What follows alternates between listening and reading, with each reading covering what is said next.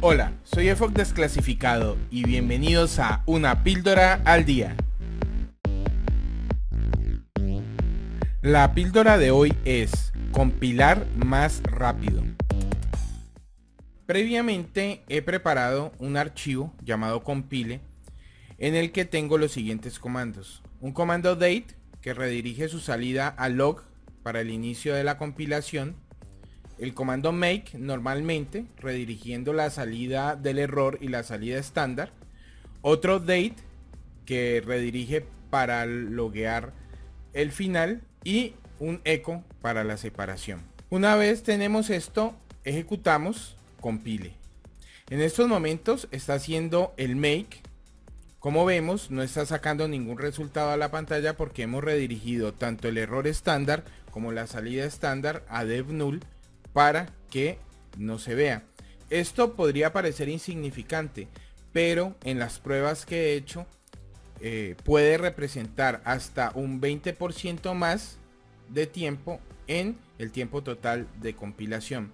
Esto eh, a largo plazo en compilaciones grandes puede representar mucho tiempo. Una vez eh, termina de compilar el make, entonces vamos a ver qué nos arrojó el archivo.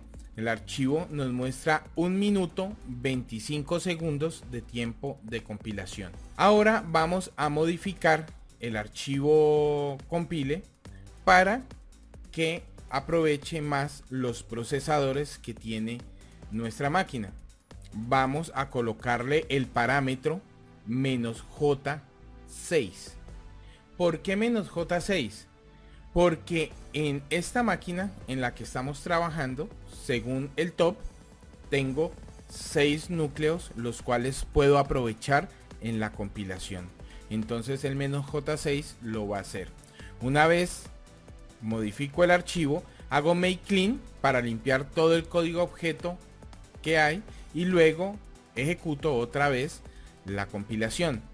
En este momento la compilación se está haciendo tanto esta como la anterior la he acelerado para cumplir con el formato del video y para no tener que exponerles mucho tiempo eh, de compilación. Una vez termina de compilar, vamos otra vez al archivo de log para que nos muestre cuánto demoró esta segunda compilación y nos muestra que demoró solamente 30 segundos. Esto muestra un aumento significativo de más del 60% de ahorro de tiempo en el tiempo de compilación.